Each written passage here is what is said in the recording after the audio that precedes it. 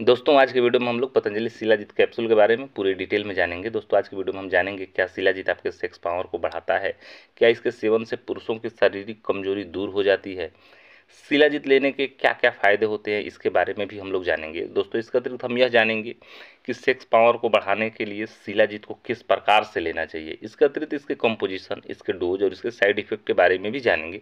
लेकिन उससे पहले आप मेरे चैनल को सब्सक्राइब कर ले तथा वीडियो को लाइक करना न भूलें।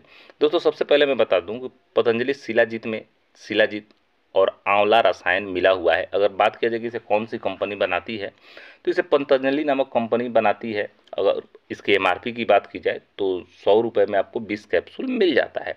अगर इसके उपयोग की बात करें तो दोस्तों, अगर कोई व्यक्ति संभोग के दौरान कमज़ोरी महसूस करता है, इरेक्टाइल डिस्फंक्शन यानी शीघ्र पतन, जिसका मतलब होता है सेक्स के दौरान बहुत जल्द अस्खलित हो जाना, यानी आप बहुत जल्द ही थक जाते हैं, ज़्यादा देर तक आप सेक्स नहीं कर पाते हैं तो आप पतंजलि शिलाजीत कैप्सूल का उपयोग कर सकते हैं। इसका उपयोग करने से आपको काफ़ी फ़ायदा मिलेगा। लेकिन ध्यान रहे कि इसको लेने का तरीका जानना बहुत ज़रूरी है, जो कि वीडियो में आगे बताया जाएगा।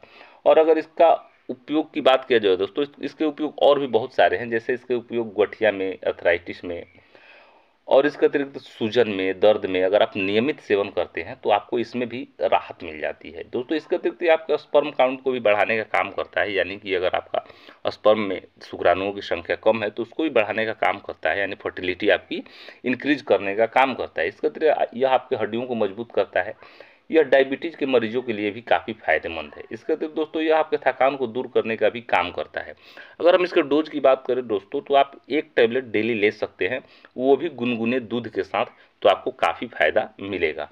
अगर आपको वीडियो पसंद आए तो मेरे वीडियो को लाइक करें तथा तो चैनल को सब्सक्राइब करना न भूलें।